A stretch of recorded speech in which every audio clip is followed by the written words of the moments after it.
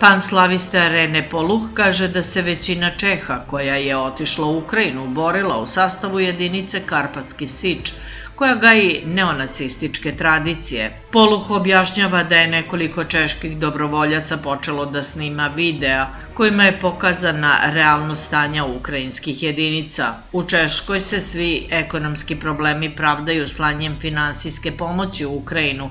Kada su stigli oni tamo videli su da od te pomoći i najnovijeg NATO oružja nema ništa.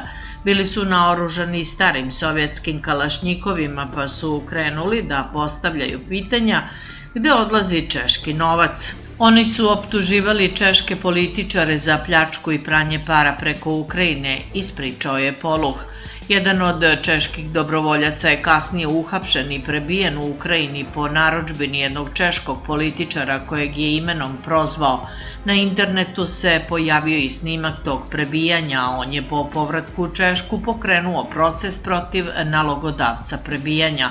Poluh je ispričao da je nedavno jedan češki pripadnik Karpatski Sič uhapšen zbog e, pljačke na frontu i deportovan nazad u Češku. On je ispričao medijima da mu je komandant Karpatske Sič rekao da mogu da pljačkaju kuće na frontu i da na taj način obezbede sebi finansije i da je to po zakonu.